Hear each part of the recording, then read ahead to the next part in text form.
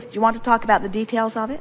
Like I said, I've been successful in going from from almost nothing to getting everything that I've ever wanted in lots of ways. Um, one example is uh, I practically willed myself with my uh, fierce um, optimism and knowing that I would have a child at 44, even though the odds were really against it.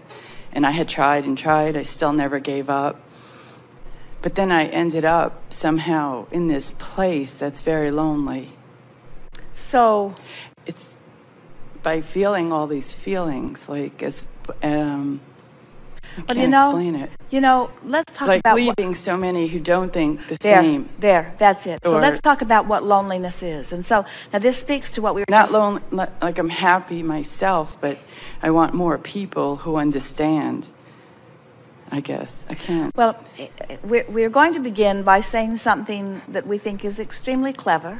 You may not like it at all, but it's so clever we must say it, and then and then we'll show you what to do about it. Okay. And so we want to say you're looking for love in all the wrong places. Exactly. and then and then we want to say to you that it, it speaks to what we were talking about just a little bit ago, where most of you are trained to be aware of the response that you're getting from others. And so you have this sort of duality going on where you innately know that it is your work to come into alignment with who you are, and you've been working to do that and been seeing the success of that alignment on so many occasions that now you really know it. You've you've got it, mm-hmm. yeah, and you can never step back from that understanding.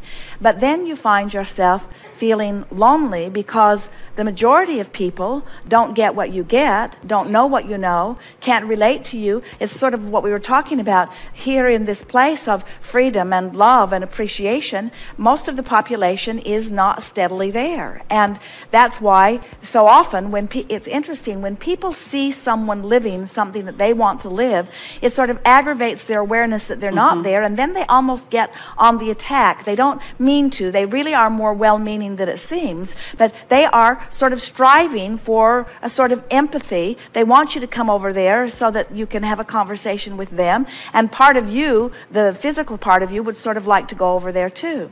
So then we say reassuring things to you, such as you cannot uplift from your place of not being uplifted.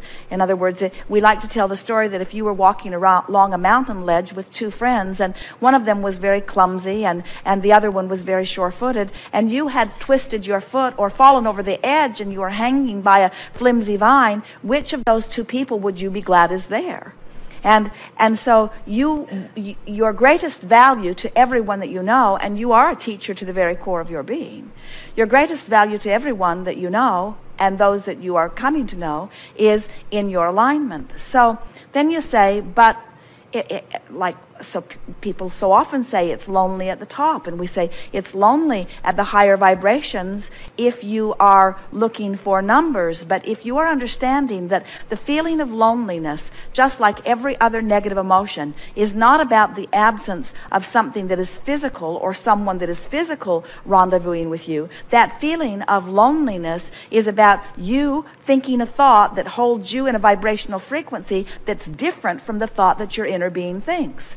So let's talk about moments when you feel that strong feeling of loneliness coming on. Let's say that you're watching someone who is not joyful, someone that you care about, who you want to be joyful. And as our psychotherapist friend that we talked to earlier, you you're you're unwilling really to walk over there all the way and teach them what you know because you understand that on vibrational basis they're not going to hear you anyway. You've tried that. You've tried to explain. They're they're sort of rooted in their beliefs and they're mm-hmm. not coming to where you're Right. coming. And so I have to go. so you and and your going over there isn't going to help them anyway. But but in this process of this, in this process of seeing this person not feeling good, you have put the new and improved version of them, which means the better feeling version of them. You have put the better ver- feeling version of them in your vibrational escrow, and so there they are, and the broader part of you has focused upon the better better feeling version of them.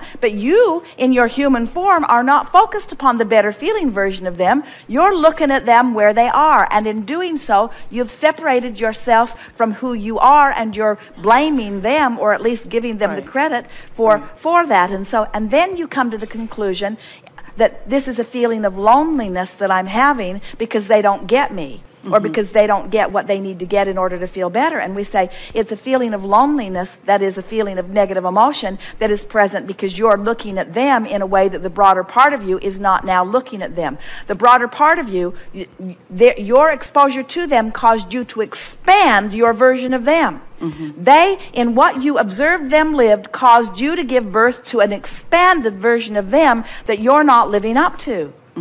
True upliftment is living up to the expanded version of people that you have seen, you see. And, and they're not going to help you because they're not in the expanded version of them. So they're over there living life the way they've been living, complaining about the things that they've been complaining about. They're, they're not helping you out at all. And we can see how it would feel uncomfortable, that you might even feel resentment or anger or loneliness about not being able to just grab them and drag them over there where they belong. what I'm trying but we want do. you to understand as you let go of that need to control what's going on with them, and as you say things to yourself such as, it's temporary, and that part of them is really none of my business, this part of them is what I want to give my undivided attention to, before you know it, you will discover that. As you come into alignment with your expanded, better feeling version of them, and you maintain it consistently, you, you maintain that positive, optimistic, because you mm-hmm. practice it when you're not with them. As you, as this version of them becomes even only slightly, not a paradigm shift, mm-hmm. just even slightly more dominant in your vibrational encounter in, in your vibrational beingness than where they are, what will happen is law of attraction will start lining you up with this version of them rather than this version of them. You'll just, you'll be zigging and zagging and missing that version of them and you'll be hooking up with this version of them. You know how so many people are manic depressive. They feel good one day and, or one minute and not good the next. And there are some subjects they feel good about and some subjects that they feel bad about. In other words, they're mm-hmm. up and down and all over the place. Well, law of attraction knows where they are and when they are there. And law of attraction, and if you're maintaining your vibrational alignment with the new and improved version of them, law of attraction is going to give you the impulse to call them when they're there with you. Going to cause you to meet them in the grocery store when you're there with when they're there with you. Mm-hmm. It's it's amazing. People can walk down the same street in the same city with different vibrations going on within them and have in two entirely different experiences walking down the street, rendezvousing with different people. Some people will be invisible to one, and other people will be invisible to another. Law of attraction says that your world is as unique as your vibrational perspective in any moment in time. Mm-hmm. So as you clean up your vibration, your world begins to reflect how you're feeling. So when you say they make me feel lonely, we say they're just a reflection of your discordant vibration with who you really are. And as you understand that and start working to bring yourself into alignment, then no one ever makes you feel bad. Your feelings become unhurtable. And it's not lonely. It, there is no inkling of loneliness in steady alignment.